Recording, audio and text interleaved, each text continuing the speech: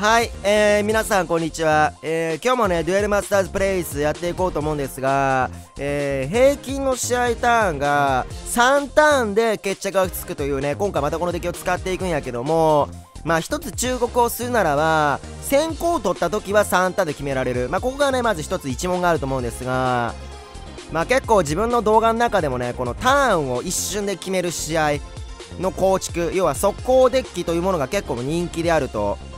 まあそれはなんか無課金税が多いという視野数から考えても、まあうなずける数字かなとは思うんですが、非常に今速攻デッキというものがね、えー、強いと言われているわけで、特に1コスのそのブレイズクローとか、1ターン目からクリーチャーを出す動きというものがね、先行ではすごい大打撃を受けるわけだ。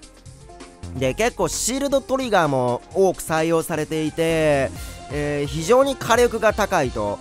でもう一回なんかその回ってしまったらね誰もこう手をつけられないというかもう処理しても次出てくるし処理しても次出てくるみたいな無限のループで負けてしまうという壮絶なコンボの未来が待っているような構築の中でまあ、無課金でも作れるっていうのがねやっぱこういうなんやろな速攻デッキの魅力的な面やと思うんやけどもまあ、早くて無課金で作れてなおかつ一番強い。この3個の文字があるならば、まあ、使わない人はいないというかね、まあ、それは流行るわって感じはあるんやけどももしね、あのー、速攻でねもうアルカディアスカップもあと2日とか3日4日ぐらいしかないわけですから、まあ、そういった中で速攻デッキの需要というものが一番ねやっぱあると思うんですよ。速攻を制するものはデュエマを制するみたいなそういうのがあると思うんで、まあ、もういきなり今回紹介していくんやけどもえー、京一郎ブレイズクローが4枚採用、えー、青銅流星団が4枚採用。スパイラルシェイキ結果クワッドパイダーが2枚採用で小さな勇者ゲットが2枚。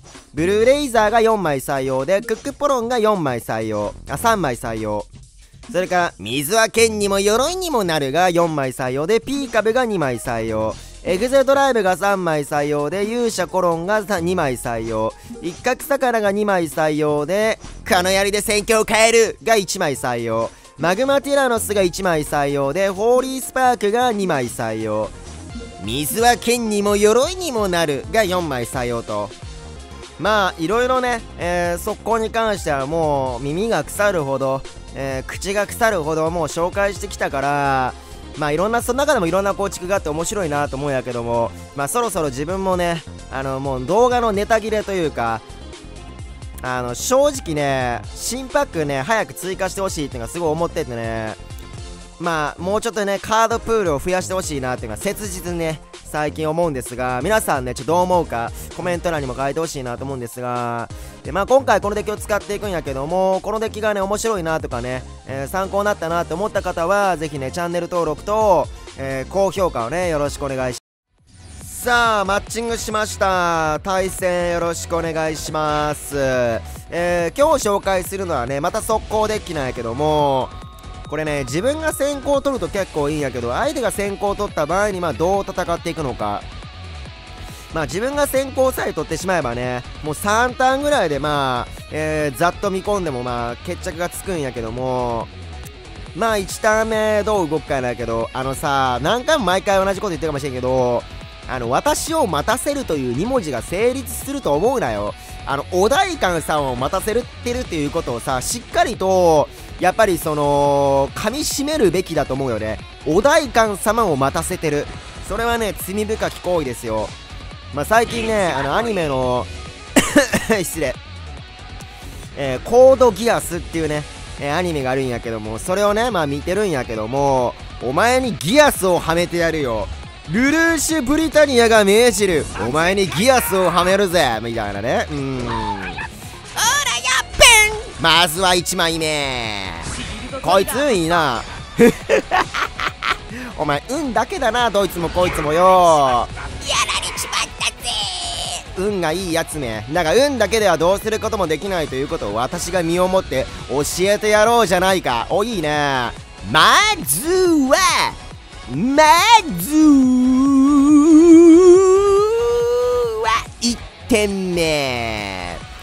買いたい買いたい。このねピーカブがすごい強いよね。買いたい買いたい。エグゼドライブと違って序盤にこう戻らないカードやからまあ、使いやすいカードやね。ほらほらどうした？序盤からデーモンハンドを使って私を待たせるという2文字を発動しといてもう何もできずに次のターンに終焉を迎えるなんてあまりにも面白くない。そんなものをやるぐらいなら私が勝つという未来を見据えた方がいいじゃないか。あの先行じゃないでこれ今。高校でこの火力やからね。まあさすがまあビート系のデッキといったところではあるが。まあ運だけではねやっぱりまかないですよ。本物のねやっぱり実力をつけないと。うん。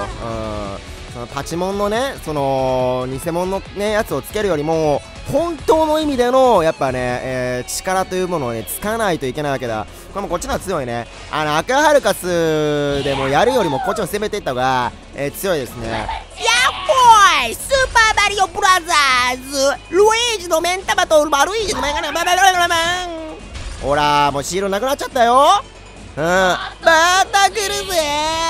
さあブロッカー1枚入ってもしょうがない。つまりピカリを張ってもこのターンをしのぐことはできない。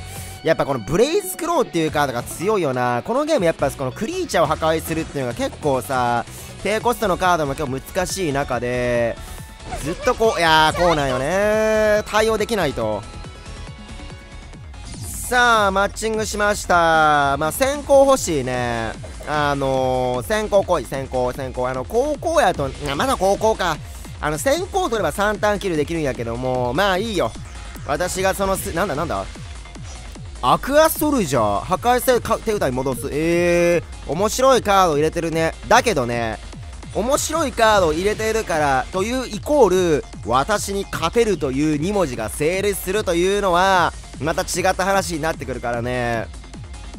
まあ、結構自分のなんかそのねこのデュエルマスターズの動画の中でもやっぱこうビート系、えー、速攻系のデッキというものは非常にこう評判が高く、えー、皆さんね毎回こう一番気になるデッキの構築やと思うんやけどもやっぱりその速くてすぐ勝てるこれに勝るものはないよね。で相手もこれ速攻系のデッキじゃないですか。やっぱりそういう速攻系のデッキというものが今いかにね流行っているのかこれをね感じてほしいよね。まずは1枚目。パイラルスウェットレッドフライデーまずは1枚目。これ相手がまあブルーレイザーのデッキやけども明らかに先行のが有利やからね。だから間違いなく相手の方が有利な状態で戦っているということは間違いなく言えてるんよ。おな小賢しで。買いたい買いたいプン。まずは1枚目。それ強いんだよな。まあワンチャンシールド2枚ぐらい除去されちゃうからね。邪魔だ。消えろ。プンしたわまずは1枚目やけど歪ん目をっかいやけどまあ赤ハルカスいこうか。まあ多分ね火炎流星弾は使うことないから火炎流星弾も捨てちゃって良さそうよね。水は剣にも鎧にもなる。まずは1枚目。まあ P 株で押してもねアクアサーファーとか来たら一気に置き換えするし。まあ P 株出したら勝ちというゲームでもないからな。こっからプレイングというものが重要になってくる。まあ、先行のこのね猛烈なムーブをどういう風に返していくのかそこがやっぱり重要だと思うんでスパイラルステッドプレッドフライダー小賢しいなこいつ。うんアクアサーファー欲しいね。アクアサーファー来たら一気にね対応変わりそうやけど。来る？はいだからお前小賢しいねんもうえやるぜやるぜ。バズは1枚目。これ並べるしかないな。エグゾドライバー貼ってもしょうがないからね。とりあえずトリガーに全てをかけるしかないな。まあ相手あと1枚しか手札ないんでそこもなんかちょっとうーん攻めきれるかっていうのありそうやけども。まあ、マナーを貯めて1枚使えば0枚になるからね。そこでどういう風なプレーンをしていくのか見ものじゃないか。私に面白い世界を見せてくれよ。久しぶりだなこんなに私が押されているなんて。いつも私が勝ってしまうから飽き飽きしているところを。作戦開始!まずは1枚目。あと1枚のカードが何かが気になるがマナをブーストしないということは2個数以上のカードではないということだよね。まずは1枚目。そろそろトリガー来てもいいぞ。アクアサーファーそろそろ来てもええぞ。おおまずは1枚目。シールドトリガー発動です。パン！ああうわペン！まずは1枚目。いいね。そしてブルーレイザーは残っている限り攻撃をすることができないんだ。面白いものを見せてあげるよじゃあ。貴様に敗北の2文字を与えてやるよ。クリパラもう使えないで消えてもらうか。まずは1枚目。攻めるかもしくは一角魚で防ぐかないけどこいつ攻撃多分できひんのよね。ここはプロの勘を持ってやっていくべきだと思うんやけどもえー、もう並べて速攻で決めていこうか。それが強そうやね。えー、いくで。まずは1点目。ね？うん作戦開始だ。ペン。ピーカブ召喚。解体解体ペン。まずは1枚目。でしっかりとここ処理していく。うんこうしっかり処理していいね。でこれ相手のまあ盤面見てもらったら分かる通り何もできないんだよ。結局相手が入れてるデッキなんてなんかそんなねミミズのざれ言みたいなそのウインナーの汁みたいなデッキを使って何がなるって言うんだよ。ブルーレイザーが攻撃するためにはいや